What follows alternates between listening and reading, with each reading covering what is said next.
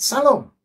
Hari ini kita akan mendengarkan firman Tuhan yang pasti akan memberkati kita saudara membuat kita semakin hari semakin luar biasa. Kita akan membaca Yakobus pasal yang kelima ayat yang ke-19 saudara.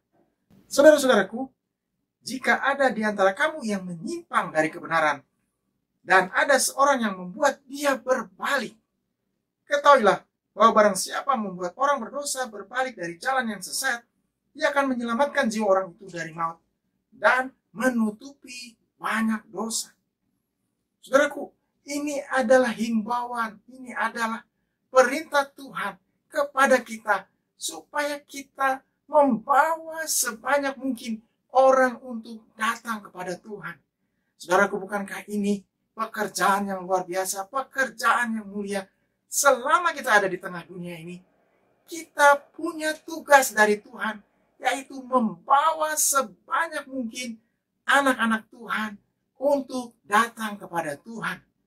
Mungkin di tempat kita, di keluarga kita, ada saudara-saudara kita, teman-teman kita yang kita kasihi tapi belum dekat dengan Tuhan, belum datang kepada Tuhan, masih hidup jauh dari Tuhan.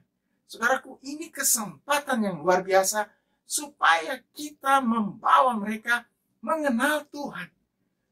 Tuhan ingin supaya kita semakin hari semakin luar biasa, semakin menjadi berkat bagi banyak orang, membawa orang-orang terdekat kita untuk percaya kepada Tuhan. Saudara yang kekasih, bukankah ini sebuah pekerjaan yang indah?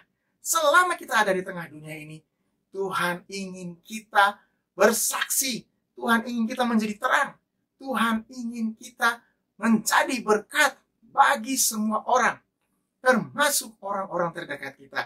Mungkin di dalam keluarga kita sekali lagi masih ada yang belum kenal Tuhan.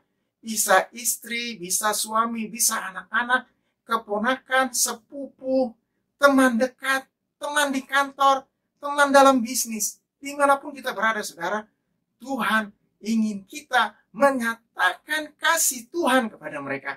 Tuhan akan memberikan kekuatan kepada anak-anaknya yang mau melayani, yang mau bekerja dengan giat, membawa banyak orang kepadanya. Saudaraku, lihat apa yang Tuhan akan berikan kepada kita kalau kita membawa banyak orang datang kepada Tuhan. Dikatakan di sini, di Yakobus pasal 5 ayat yang ke-20.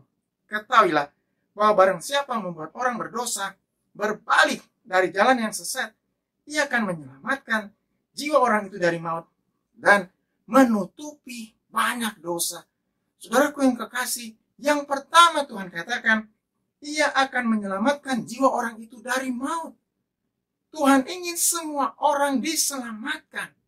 Ini adalah perintah yang hebat, saudara, supaya semua orang, siapa pun orangnya, diselamatkan Tuhan percaya kepada Tuhan, berbalik dari kehidupan yang lama kepada kehidupan yang baru. Saudaraku yang kekasih, sungguh indah.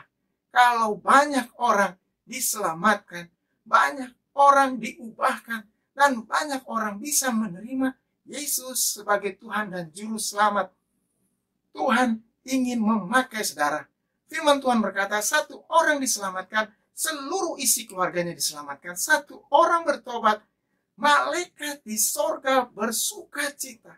Saudaraku yang kekasih, kalau kita bisa melihat ada satu orang datang kepada Tuhan, saudara kita, teman kita, membuat seluruh malaikat di sorga bersuka cita, bergembira merayakannya.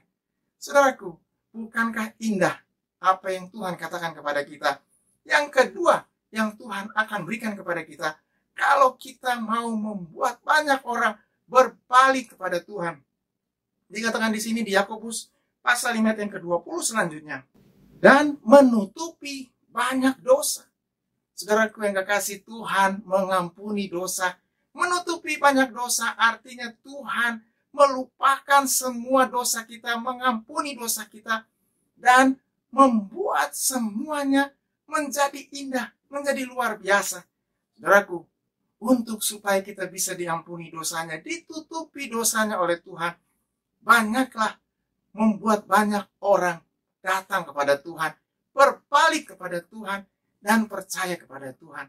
Selama kita masih ada, selama umur kita masih ada, ini adalah saat yang indah untuk kita menjadi berkat bagi banyak orang, menjadi terang di tengah-tengah dunia ini. Panggilan orang percaya adalah menjadi terang di tengah-tengah dunia ini, menerangi kegelapan, menerangi semua jalan-jalan supaya orang bisa melihat jalan Tuhan, melihat keselamatan, dan melihat kemuliaan Tuhan. Haleluya.